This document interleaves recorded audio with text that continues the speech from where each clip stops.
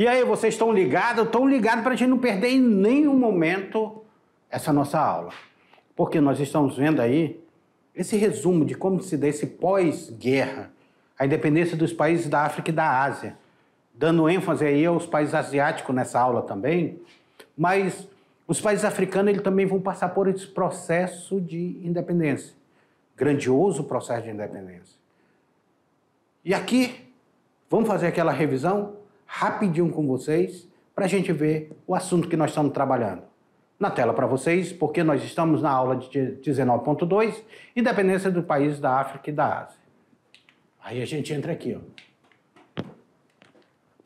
Conferência de Bandung. Essa conferência que foi em abril de 1865 e ela vai envolver, vai ser realizado lá na Indonésia e ela vai envolver países africanos e asiáticos na Conferência de Bandung. Percebam vocês aqui que nós temos representantes da África e da Ásia nessa conferência. E vai ser convocada pelos líderes da Indonésia, da Índia e da Birmânia, do Ceilão e do Paquistão, que eram países que já eram independentes. E eles vão começar a puxar esse coro de independência. A partir daí, vários países da África e da Ásia vão começar a buscar sua independência, ou de forma pacífica, ou de forma de luta. Nos anos seguintes à conferência, o processo de descolonização hoje é muito usado. Em vez de des, é colocado decolonização. Porque é, se refere a tirar qualquer vestígio colonial do seu país. O Brasil, ele precisa se decolonizar. A África se acelerou e até o ano de 1960, 23 países africanos já haviam conquistado a independência. 23 países africanos já haviam. Nós temos aí esse processo de independência da África. As formas de ruptura que houveram lá na África, nós temos a ruptura pacífica, que é mediante ao acordo firmado com a metrópole. A metrópole diz: olha, nós vamos te dar independência, mas você continua fazendo comércio conosco. E nós temos a ruptura quando a metrópole não queria largar o osso, nós temos aí um processo de ruptura violenta que envolve confronto armado entre as forças tanto da metrópole quanto as tropas de libertação nacional. E desdobram-se numa série de lutas internas envolvendo movimentos políticos ou grupos étnicos rivais. Porque Além da briga externa, nós temos a briga interna, as guerras civis que vão ser travadas dentro desses países. E aqui nós estamos vendo representantes da África, representantes da Ásia, da Oceania e desses países que queriam se tornar independentes na África e na Ásia. Aí nós temos aí a, independência, a independência da Índia. Ah, nós temos esse, essa figura, Mahatma Gandhi, porque a partir do século XVI, algumas regiões de seu território começaram a ser ocupada por países europeus, ainda no século XVI. Lembra das grandes navegações? É. Eles chegaram à Índia e começaram a dominar a Índia. Portugal chega lá. Foi o primeiro a chegar, foi Portugal. Depois nós temos a Holanda, que parte tardiamente para as navegações, mas chega até lá. E posteriormente a França e a Inglaterra também, que 100 anos depois começa um processo de navegação e chega às Índias. Então, a Índia a Ásia e a África, países asiáticos e africanos, sempre foram de interesse de nações de império europeus. E o Império Britânico, é, que incorpora a Índia, considerava a própria Índia como uma joia da coroa, pela sua população, pela sua riqueza, pelo seu território. Por tudo isso, era a joia da coroa. Ai, aqui é colônia inglesa, e aqui a joia da coroa, de onde nós vamos tirar toda a riqueza para a Inglaterra. Matéria-prima, nós estamos em processo industrial. Tá? A independência da Indochina. Agora vamos para a extrema Ásia, lá na Indochina. Essa região da Ásia, dominada pela França desde 1860, foi ocupada pelos japoneses durante a Segunda Guerra Mundial. Nós vimos aí, tanto é que essa região aqui era grande produtora de, de borracha. Só que de, termina a guerra, a guerra termina aí, e aí o, a França tenta retomar essa região. Só que começa guerras internas que vão impedir. Como foi a guerra da Indochina e como vai ser a guerra do Vietnã. A França não passa a ter mais domínio dessa região. Essa região quer se tornar independente. Bem, meus queridos alunos, como nós sabemos, essa revisão nossa é bem rápida, só para vocês fixarem aí alguns pontos. Agora, com vocês, façam atividade. Vou dar uns 15 minutinhos para vocês fazerem a atividade aí, que eu já vou ali e volto para corrigir. Deixe lá. Um abraço.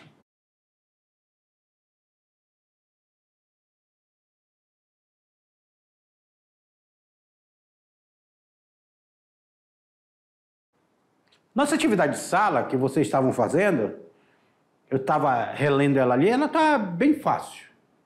Está nada complicado não, está bem fácil.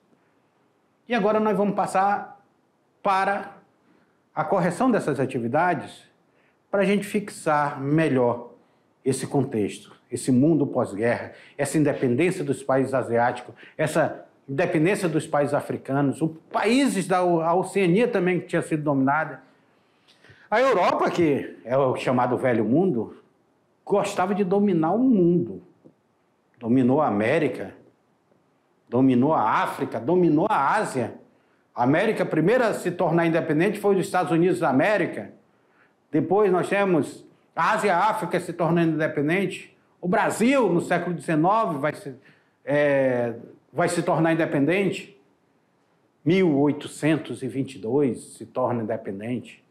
Então, nós temos aí essa busca pela independência e a importância pela independência. Na tela para vocês, porque a gente começa com a questão de número um. A partir da segunda metade do século XIX, os governos da potência econômica se lançaram sobre a África e da Ásia, o Oriente Médio e Oceania para formar seus impérios coloniais. Este processo foi chamado por alguns historiadores de neocolonialismo neopentecostal, capitalismo, socialismo ou americanismo? Pessoal, daí tá fácil, né?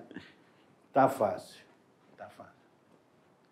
Nós sabemos que lá no século XVI, com as grandes navegações, que começam no final do século XV para o século XVI, Portugal vai ser o primeiro a chegar às Índias. Portugal começa o processo de navegação, chega, vai, chega a Cabo Verde, depois a ilha de Cabo Verde, depois chega ao Cabo das Tormentas, depois Vasco da Gama é o primeiro a chegar às Índias, depois vem Pedro Álvares Cabral, e outras navegações vão começar de Portugal e Espanha, tanto é que eles vão dividir o mundo no meio. E aí esse processo é o processo de colonização. Quando se dá o século XIX, nós temos um novo viés desse processo, que é o processo de neocolonização.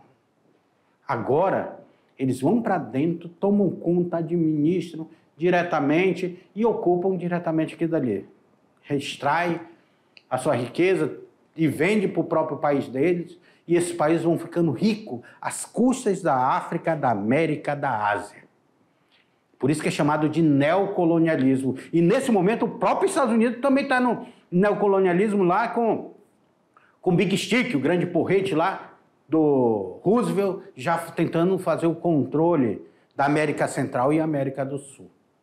Neocolonialismo. Então, a resposta correta eu já dei para vocês, né? Nós estamos falando do neocolonialismo.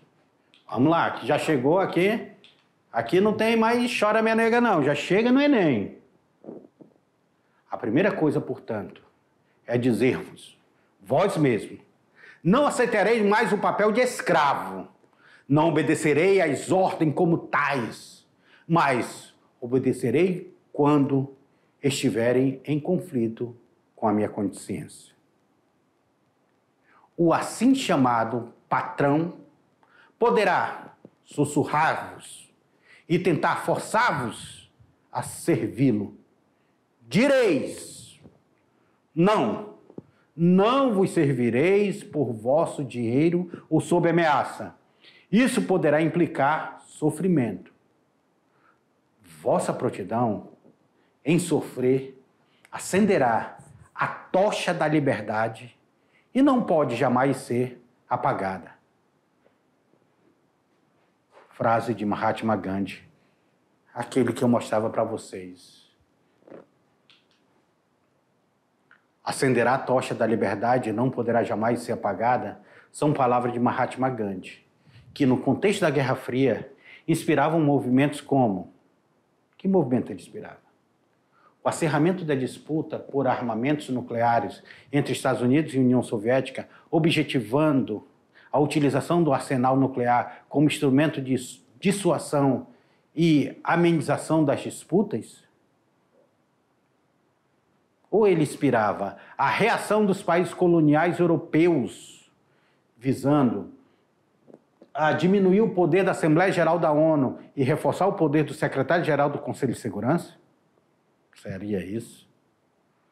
Ou ele queria ascensão unilateral de independências às colônias que concordassem em, forçar, em formar alianças econômicas, política e estratégia com suas antigas metrópoles, como a Comunidade Britânica de Nações e a União Francófona. Hum. Será que ele queria que fosse feita essa aliança com o velho mundo? Ou ele queria de reforço do regime de apartheid da África do Sul, que, após prender o líder Nelson Mandela e condená-lo à prisão perpétua, procurou expandir a segregação racial para os países vizinhos como Rondésia e Namíbia? Será que Mahatma Gandhi tem alguma coisa a ver com a África do Sul? Ou seria a letra E? O não alinhamento político, econômico e militar aos Estados Unidos e à União Soviética decisão tomada pelos países do terceiro mundo, reunidos na Conferência de Bandung, na Indonésia? Seria isso? O que que essa frase inspira os movimentos? É claro, gente. Essa frase vai justamente inspirar o movimento de Bandung. O movimento de Bandung está dentro dessa frase de Mahatma Gandhi. Nós não queremos ser escravos. Nós queremos o nosso processo de independência. Tá? A não poderá jamais ser apagada.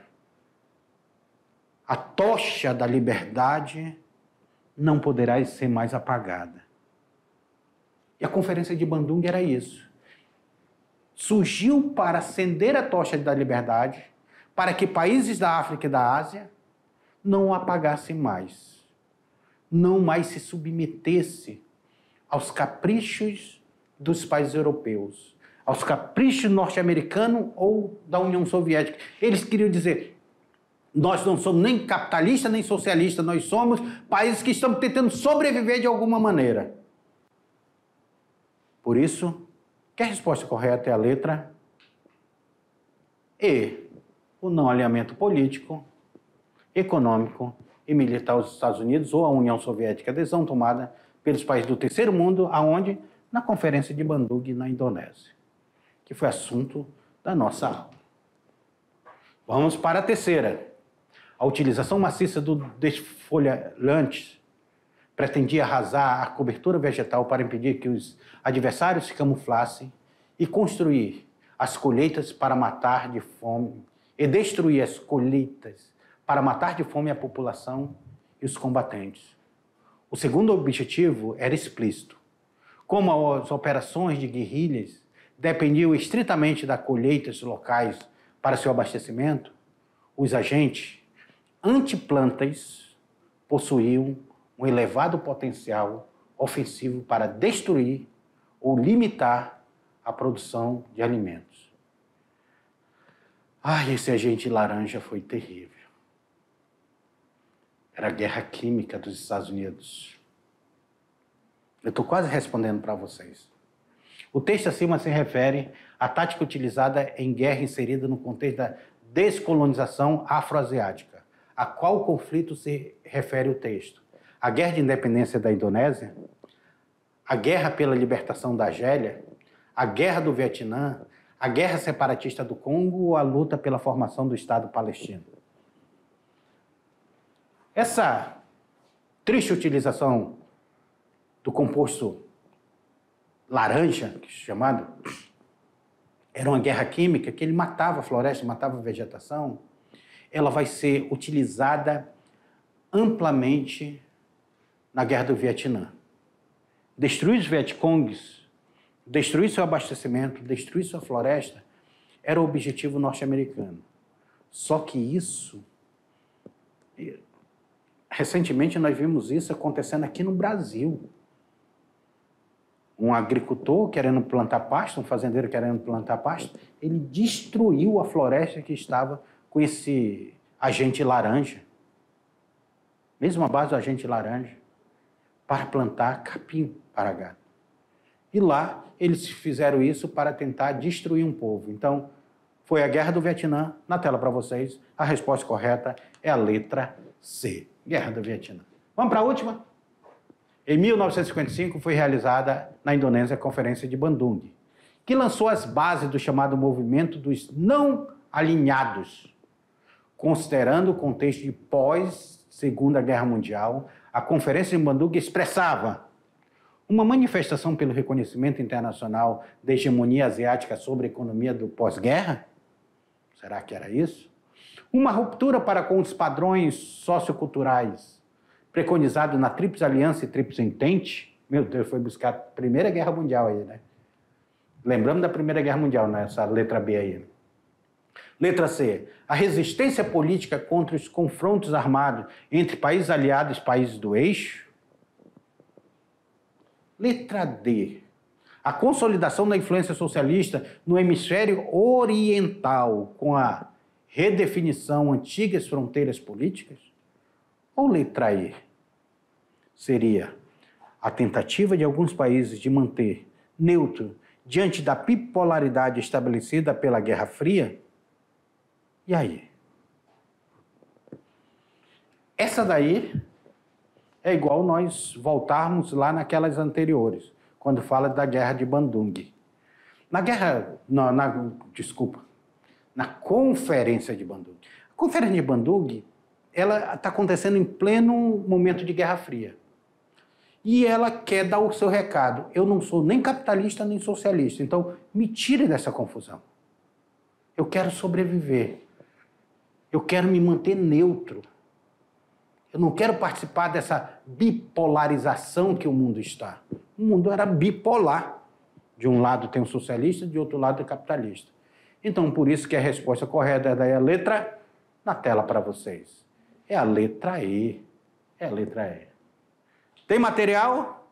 Tem? Com certeza tem material complementar. E o material complementar é um documentário sobre descolonização afroasiática. Pessoal, é importantíssimo, tá aqui, ó, no YouTube, esse endereço do YouTube, é importantíssimo que vocês assistam esse documentário. Esse documentário ele traz para vocês mais detalhadamente o assunto que nós trabalhamos na nossa aula de hoje. Esse material complementar.